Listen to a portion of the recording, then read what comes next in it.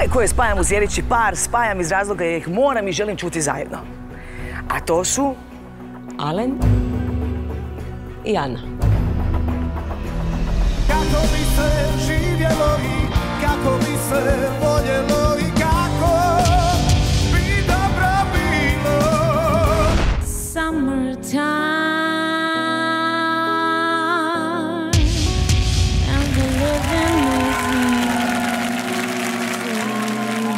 Jeste se odlučili?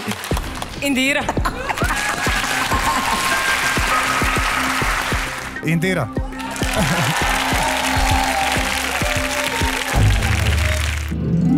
Jako sam sretna što ću vas čuti u jednoj prekrasnoj dalmatinskoj pjesmi, koji inače duetu koji pjevaju Zorica i Tedi.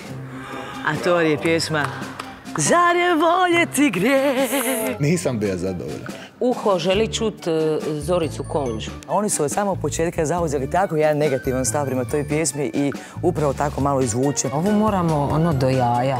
Jer inače cijela Dalmacija će nas pokopati. Ja se iskreno nadam da će se ta vrela dalmatinska krv u njima probuditi. Kap po kap, dani nestali u moru Možemo početi sam. Kap po kap, terca. Ja sam Meni je pisma super. Meni isto pisma ludilo. Što sam rekla?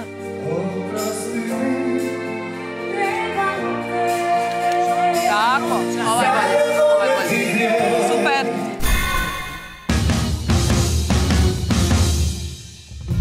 Uopće ne sumnjam da ćemo biti fantastični. Točno ono kako treba. Čista, čista, čista emocija. Jedna nova dimenzija. Ko da najviše emocije, taj će proći. Dalmatinci, da vas čujem.